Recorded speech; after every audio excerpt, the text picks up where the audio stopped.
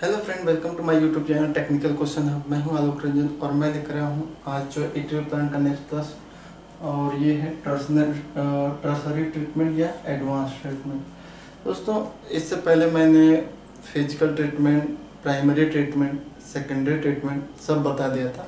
इसमें हम tertiary treatment या एडवांस ट्रीटमेंट के बारे में बताएँगे कि ये क्या, ये कौन सी ट्रीटमेंट है।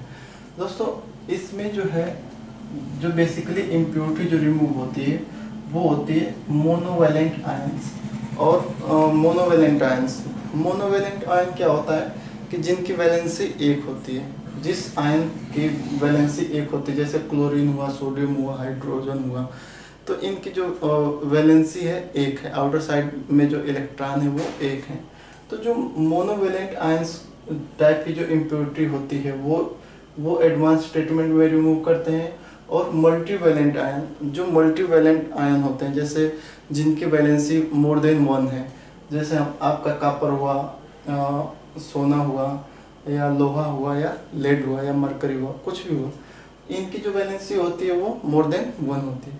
तो इसमें जो है एक तरह एक तो इम्प्योरिटी मोनोवेलेंट आयन रिमूव करते हैं और दूसरा मल्टीवेलेंट आयन रिमूव करते हैं और तीसरा वायरस रिमूव करते हैं इस टेक्निक में और एडवांस में। और चौथा बैक्टीरिया रिमूव करते हैं और पांचवा सस्पेंडेड सॉलिड रिमूव करते हैं। यानी कि पानी में अगर ये सब चीज़ें रहेंगी तो वो पानी हमारा क्या है? इम्प्योर है मतलब पीने लायक नहीं है। आपके पास अगर कापर आयरन लेड वगैरह, या सोडियम और हाइड्रोजन या क्लोरीन वगैरह, ये जो आयंस हैं, वो अगर पानी में रहेंगे तो वो दोस्तों हमारे लिए क्या है? नुकसानदायक है। तो इसलिए हम इनकी एडवांस ट्रीटमेंट करते हैं। पानी की एडवांस ट्रीटमेंट करते हैं। तो इसमें हमारा मेन जो यूज़ होता है, वो ढेर सारे फ़िल्टर है।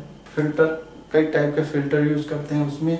उसके बाद इसकी डिगैसिफिकेशन करते हैं। डिगैसिफिकेशन मतलब कि जो पानी में जो गैस है इन्वॉल्व गैस है, उसको रिमूव करना। यहाँ पे मैंने छठा गैस रिमूव और गैस रिमूव लेते हैं उसके बाद इस, इसी के अंतर्गत हमारा डिसइंफेक्शन भी आता है। यानी कि पानी में जो अगर जितने भी हमारे जैसे कुछ बैक्टीरिया वगैरह है तो वो बायोलॉजिकल ग्रोथ कर सकते हैं तो उनको हम क्या कर सकते हैं, उनकी डिस डिसइंफेक्शन भी कर सकते हैं। चौथा जो है, इसमें आता है क्लोरीन रिमूवल यानी कि पानी में अगर क्लोरीन है तो उसको भी रिमूवल हम करते हैं। तो ये चार जो है, चार टेक्निक जो है, इसके अंतर्गत आती हैं। अब सबसे पहले देखते हैं कि हमारा फिल्ट्रेशन में कौन कौन से फ़िल्टर हैं जो एडवांस ट्रीटमेंट में या टर्सरी ट्रीटमेंट में यूज़ होते हैं।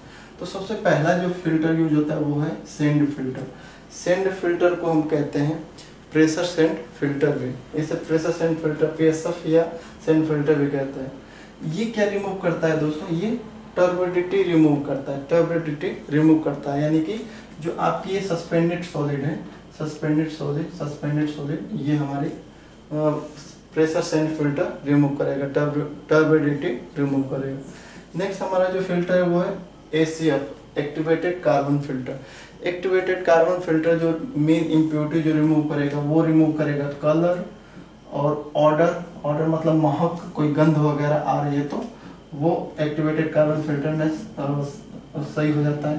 तो कलर ऑर्डर और पिगमेंट जितने भी पिगमेंट यानी कि जो कलर प्रदान करते हैं, उस हार्मफुल केमिकल को भी ये रिमूव करता है। क्लोरीन को भी रिमूव करता है और कुछ हद तक सस्पेंडेड सॉलिड भी रिमूव करता है।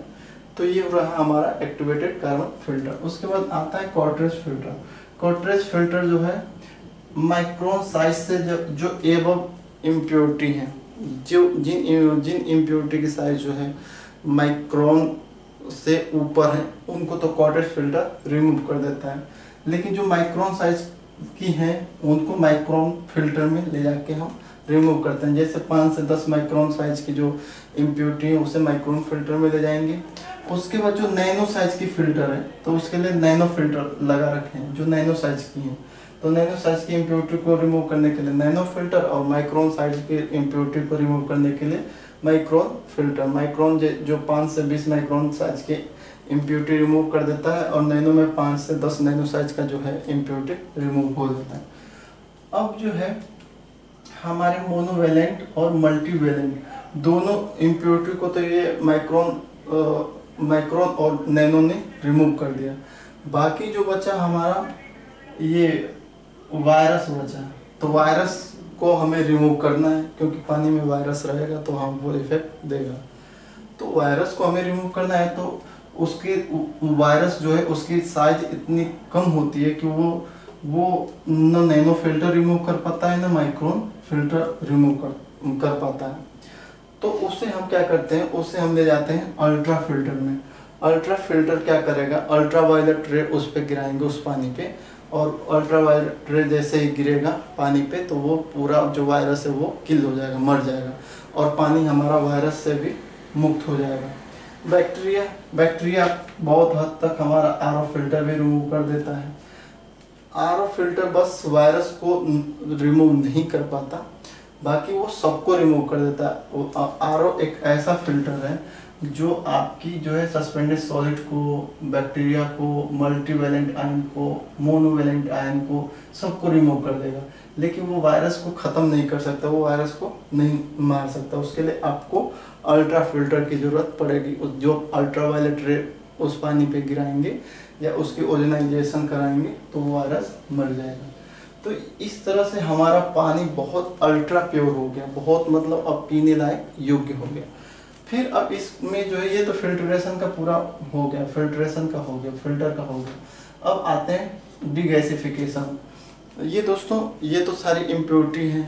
अब एक और इम्प्योरिटी होती है, जैसे गैस। जो है जो गैस जो है, पानी में इन्वॉल्व होती है। जैसे आपके जो है, पानी में सी है तो वो कार्बोनिक एसिड बनाएगी। अगर पानी में अमोनिया गैस है, वो भी हाईली डिजॉल्व है। तो वो जो अमोनिकल वाटर बनाएगी। तो डिगेसिफिकेशन करना पड़ेगा, गैस को रिमूव करना पड़ेगा। गैस को रिमूव करने के लिए डिगेसिंग टावर यूज़ करते हैं। डिगेसिंग टावर आपको मालूम ही होगा। तो डिगेसिंग टावर का यूज़ यहाँ पे मैं डिस्कस ज़्यादा नहीं करूँगा। उसके बाद डिगेसिफिकेशन हो गई, पानी में जो गैस है, वो भी रिमूव हो गई अब जो है, जो इसमें डिसइंफेक्शन करेंगे, यानी कि पानी जो है, ज़्यादा दिन तक रहे, उसमें जो है बायोलॉजिकल ग्रोथ ना हो, यानी कि बैक्टीरिया उसमें न पनप जाए, इसलिए उसकी, उसमें क्लोरीन वगैरह डोज कर देते हैं ताकि उसमें बैक्टीरिया न जन्मे।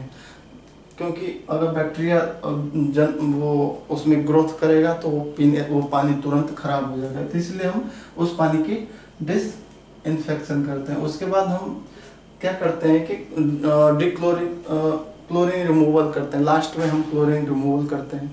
क्या होता है दोस्तों, जब हम क्लोरीन मिलाते हैं डिसइंफेक्शन करने के लिए तो क्लोरीन की मात्रा ज़्यादा हो जाती है। तो ज़्यादा क्लोरीन की मात्रा हमारे लिए हानिकारक है, क्योंकि ये रेस्पिरेटरी सिस्टम पे ज़्यादा इम्पैक्ट डालेगी।